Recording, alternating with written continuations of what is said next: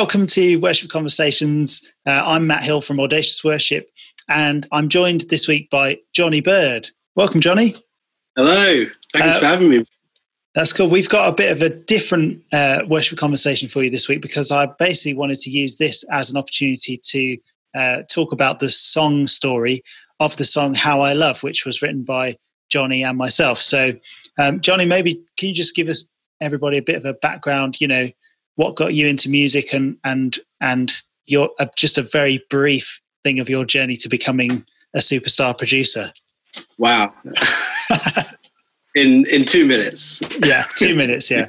okay, perfect. Well, um, I'm Jonny. I'm originally from Bristol in the UK, and um, growing up, my my dad he used to be in a band in the 80s um, like a synth wave kind of Duran Duran kind of style. Awesome. And so my dad's a musician, like bass player actually. So always had loads of instruments around the house, and and uh, he had a home studio as well. I mean, his day job's a solicitor, so it meant he would come home from work and just make music for fun. But it meant that I got to was surrounded by all this amazing equipment and yeah quickly like fell in love with making music. And I remember I would, he had an old Atari. Do you remember those? Yes. And I would just, as a teenager, I just like sit and sit in the studio, like recreating my favorite songs in MIDI on the Atari. on it, it was like the old notator, which turned into Logic. Yeah. so that was fun. Um, fast forward, moved to Brighton in 2009, and um, I did BIMM there, which is the Brighton Institute of Modern Music, um, playing guitar. Yeah. And then uh, around that time, uh, this new church was starting in Brighton called St. Peter's, and I managed to go along to the first ever service of that. And oh, by the second week, I was on the worship team and played guitar every week for about three years, I think. and um, like a few years into the church, um, Matt Redman started coming along. And then about six months later, Martin Smith started coming along to church. So, you know, because I was playing guitar every week, I just ended up playing guitar for them loads and becoming mates with them. Yeah. And then when they wanted to start doing other gigs in the UK, um, it kind of naturally happened that I ended up playing guitar for those guys. And then um, through that, I met yourself and yeah. met loads of amazing people and ended up playing for lots of other worship leaders and worship bands and and now, these days, I'm a producer and mixer full time. This is my home studio, and um, just get to tour, you know, like a little holiday every now and again, with playing mainly for Martin. Um, so yeah. it's, it's, a good life. yeah, and you're also sort of um, one of the worship pastors at St. Peter's, I guess now. Uh, I, yes, I am now. by, by default. So my wife Sarah has been uh, one of the worship pastors at St Peter's and for Bright City, and we're just about to have our third baby. So uh, I I said this wow. time, oh, why don't I do your maternity cover? so it's kind of mad me working for a church. If anybody who knows me would yes. know that they're weird, but I'm loving it so far. Great. Well, at the moment, I don't have to go to I have to, I have to go to church, so it's perfect. Yes, you're doing it all from home. yeah. Uh, that's great. Yeah, and uh, so we we obviously met through you playing with Martin and coming to Audacious, and yeah, um, and we've been good mates ever, ever since. Um, yeah. And I think I, I, wanted to talk about this song because we've we've recently released it, um, but obviously we we wrote it, worked on it together, and um, I thought it might give people a bit of an insight of sometimes how songs uh, are are written and maybe some of the ways that that you work as a producer and and in developing and honing songs and stuff and and that might give people a bit of a you know um, sort of an insight into how these things work um, mm. so so how how I love you um, thank you love you the end. Um, how, how, I Love You started, um, I think it was January last year, I believe. Um, I've got a few notes written down so I can remember exactly, but I remember basically being um, having nothing to do um, because generally nothing happens in January, and um, and I just sort of locked myself away in my studio, and I gave myself this um, sort of challenge, which was to record a song with all the cheapest equipment I had, basically. so so that there, there was nothing spiritual about it at all. Um, it was literally like I had a a very cheap uh, uh, recording software that I was using instead of Pro Tools. Um, I had I sort of cobbled together all my cheapest microphones and and this guitar which I bought on eBay for 180 quid and, and have been gradually um, doing it up over time. Um, and and I was like, I wonder how good you know a recording I could make with uh, with all these like cheap things. And that was basically all I was I was just pottering about and and the idea um, I can't remember which bit came first, really, but but some of the ideas of of how I love you started to emerge in that, and um, it comes from Psalm sixty one, which says, "Lead me to the rock that is higher than I," um, and that's sort of where the lyrics started. Um, and it's a funny one because I guess in that month or so, I I pretty much made what was kind of a finished song, and I started playing it to people, and some people were like, "Oh, that's good." Some people like, you know, didn't say anything. Um, people don't tend to be um, negative. People are polite, but sometimes when they don't say anything, you know what they really mean. Um, and uh, so, so that was that. I I got a friend, uh, a mutual friend of ours, Dan Galacci, to play some drums on it. He's also a producer, and so he started going, "Oh, maybe if you chop this bit out, you know." And stuff like that. So I started to that. That was probably a couple of months later. Um, so I started to see the song develop a bit then. But mm. it it was only when, which was I think September, then we were on tour in a tour bus in Europe. Um, that's actually when the sort of song came back around, and and I guess because you were forced into it because you couldn't run run away because we were on a bus. I was like, mm. listen to this song. What you know? What do you think? Um, so just can you explain a little bit about when you're when when someone shows you an idea like that um, what are you looking for as a, as a producer as a songwriter what's your first sort of like what what bits are you looking for um, what's your sort of start point before you start giving any feedback or other ideas oh that's a good question well i think first of all i'd like to start by saying as a songwriter there's kind of like you've kind of fall into a few different categories and I yeah. think I I feel in fall into the category of I'm really good at starting a song and really good at finishing a song. Right, but I'm yeah. terrible at the bit in the middle, which is actually like writing the song. Yeah. uh, the hard work bit, I'm useless at. so like, I, I'll either when I'm writing, I'll be very happy to come up with a thousand like initial ideas, whether that's like a riff or like a lot of a lot of uh, Army of Bones songs or yeah. Martin's latest album kind of would start with me on on guitar, just like jamming something in sound check, and Martin would hear that, and then he'd go and actually do the hard work and turn it into something. Yeah. Um, but then the the other side of it, being a producer, yeah, you get very used to hearing songs when people might think they're done, but it's trying to bring that kind of last taking it from good to great. Yeah, adding last ten percent. Um, so yeah, I guess when I'm looking for a song like that, ultimately, does it make you feel something? Do you kind of connect to it, whether that's the lyric or the melody, or, yeah. or it might be yeah, that's a really cool riff or really cool like even like a song might have a, just a really good vibe you might change everything yep. about it, but like the tempo was good. so, yeah. so there's, there's, always some there's always something in there yeah. that's going to be great. Um, but so I remember for this song, it was a sort of half time thing when you brought it to me, right? Yes, yeah. We and could maybe try and insert a clip of it here so that people could hear it.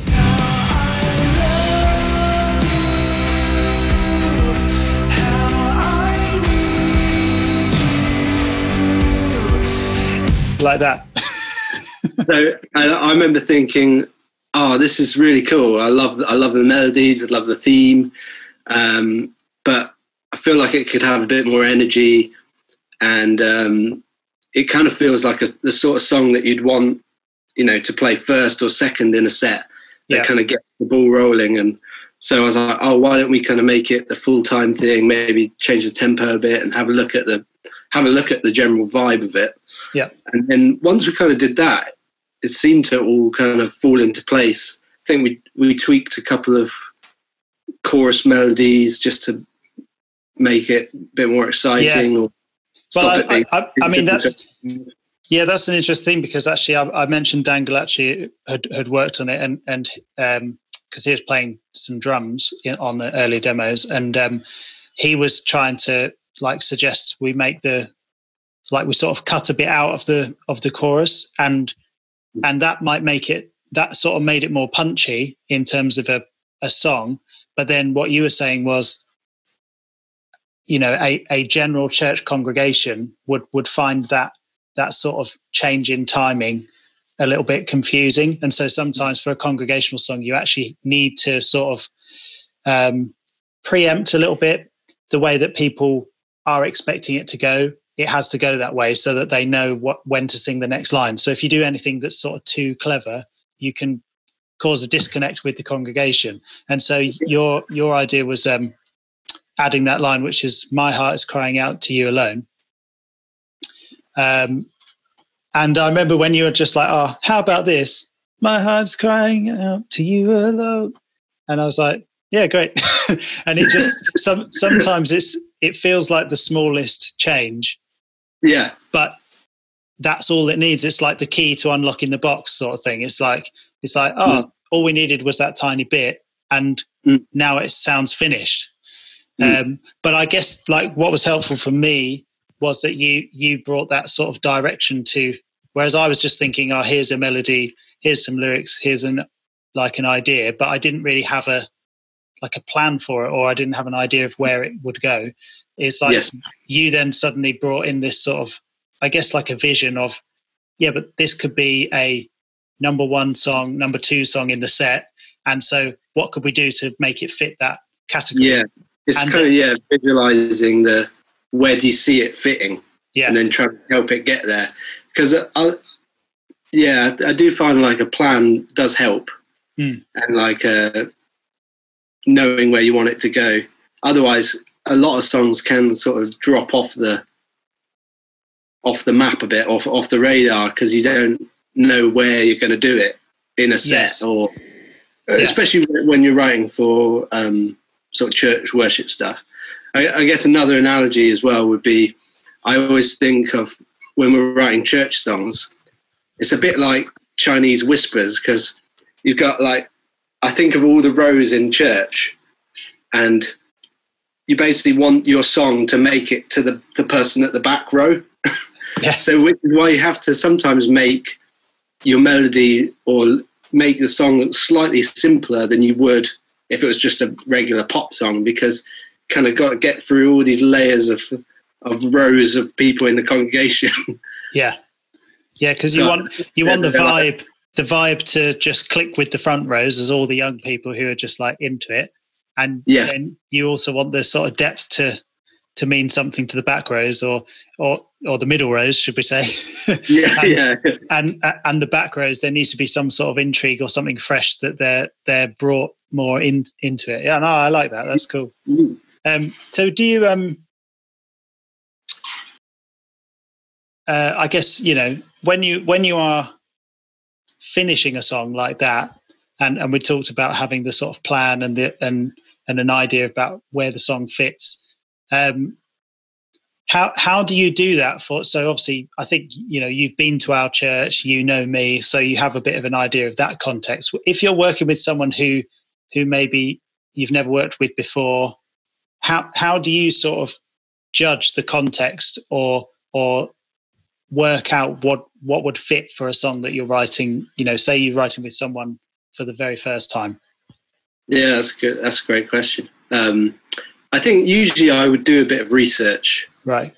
I would kind of see what what they've done before have a listen to a few songs and the kind of yeah get a sense for their context and and their kind of usual writing style and and where where their stuff kind of needs to fit and where it needs to land and and I, I kind of I really like working with limitations because it kind of forces you to be a bit more creative. So mm. for each project that come in, I, I'll give myself like little rules or little kind of guidelines. Right. Okay, so for this artist, it needs to sound like this. We can only use these instruments or this kind of palette of sounds, and it kind of stops the uh, the option paralysis.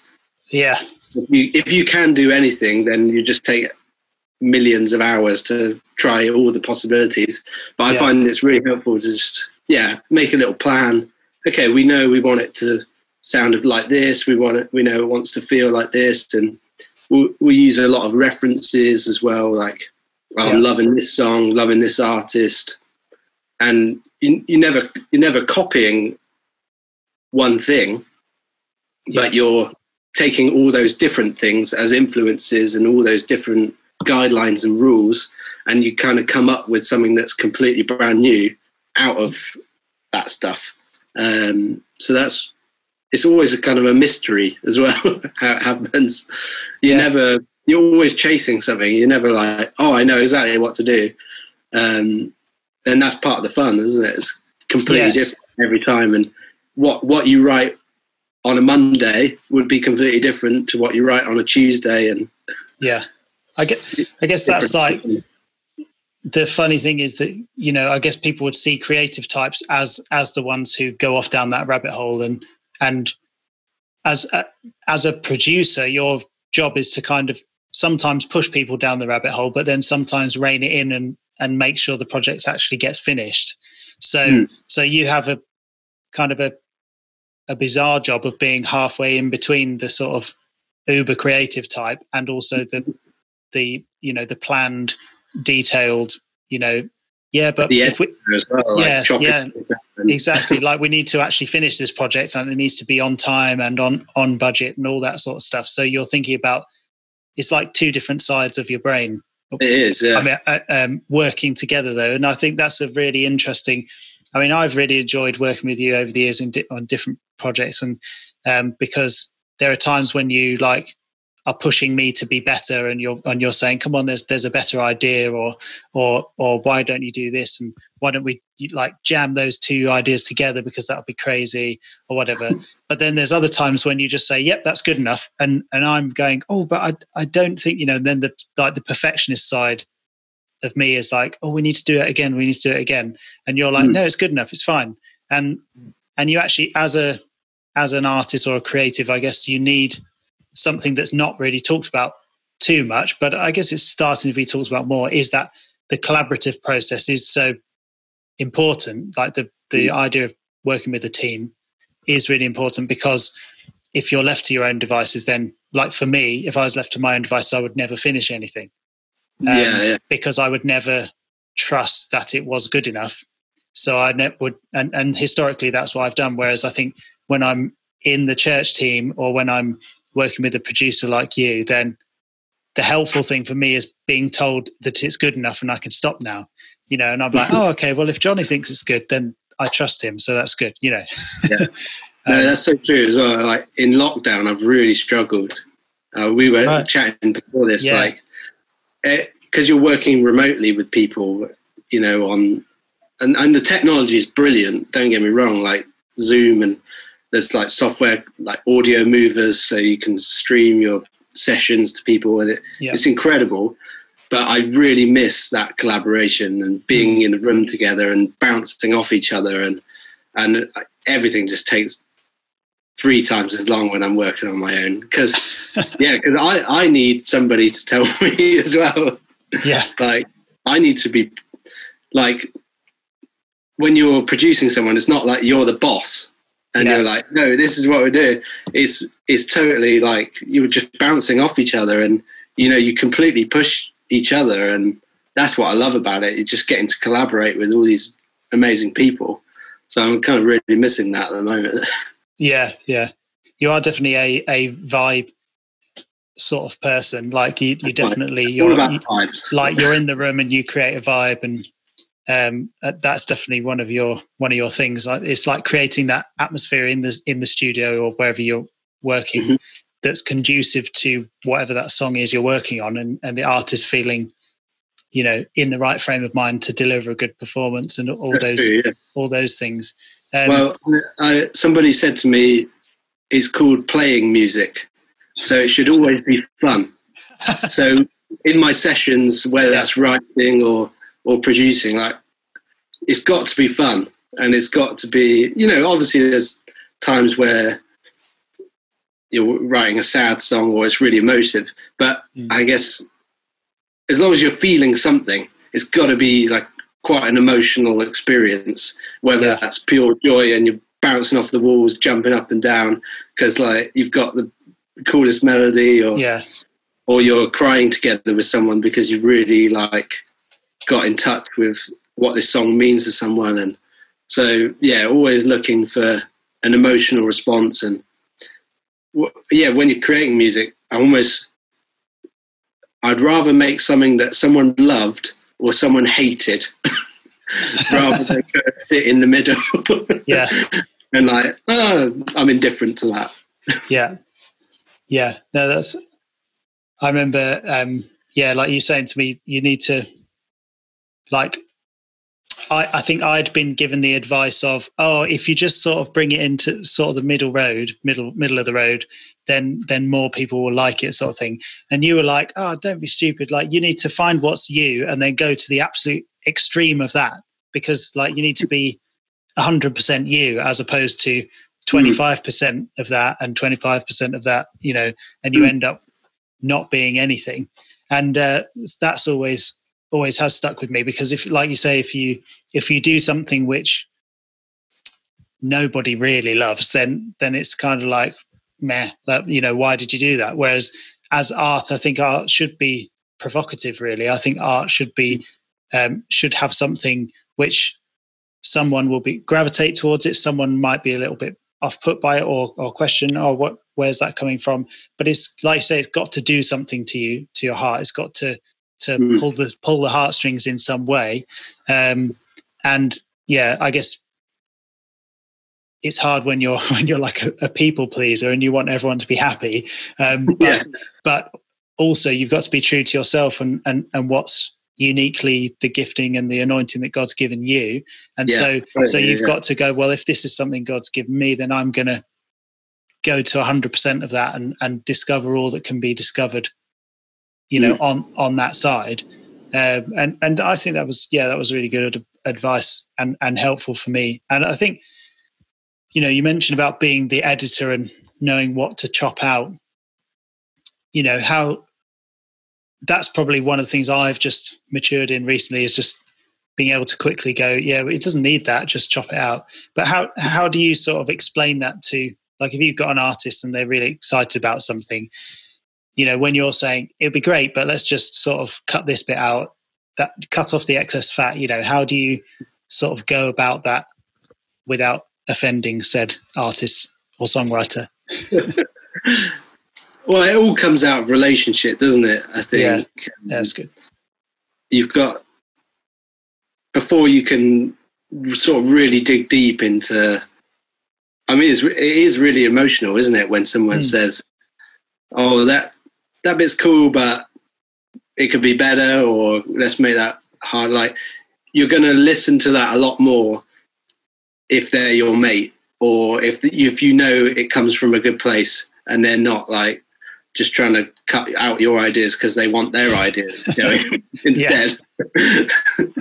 um, yeah. So you know, and it's the same with our worship team as well. It's like the more we sort of hang out and trust each other, then the better music you end up making at the end of the day. So it all comes yeah. out of being mates and and doing it together and being for each other and yeah. and and like you said, it's looking for the bits that make it unique as well and make it like that's your character and that's what, what you've put into the song and like not kind of chop all of that out as well. Yes. um, yeah. yeah.